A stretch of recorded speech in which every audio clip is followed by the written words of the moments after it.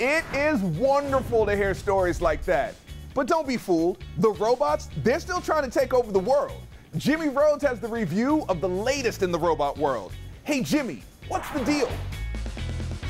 I must need maintenance. When you think of robots, you think of movie robots. Welcome to Altair Four. That mostly want to kill you. I'll be back. So far, robots do helpful things like greet you at airports, sort and fold your laundry. They'll even play some ping pong with you.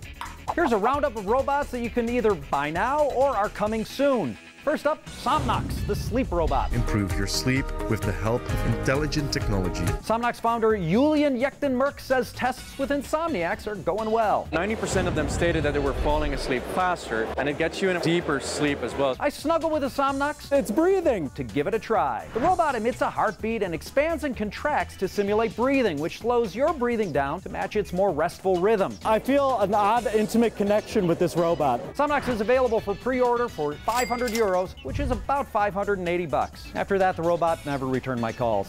Next, if you want a robot assistant that can do just about anything, there's Aeolus. The childhood dream of having a robot at home is a step closer to reality. Designers at Aeolus imagined a robot that could react to its environment to provide help without being asked.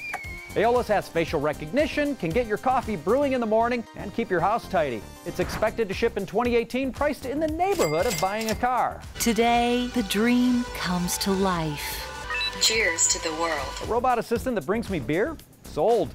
Finally, if you hate feeling overloaded in the airport, there's the Travel Mate because it follows you around on its own just like a puppy. But founder Max Cofton says it's not just cute. It really brings robotics into practicality. The TravelMate has a built-in scale and GPS, so if they lose your luggage, you'll know where it is before the airline even tells you. But the real appeal is that it pairs with your phone to follow you wherever you go. I am a stalker. TravelMate starts at 1100 bucks. Robotech in the real world is what's the deal.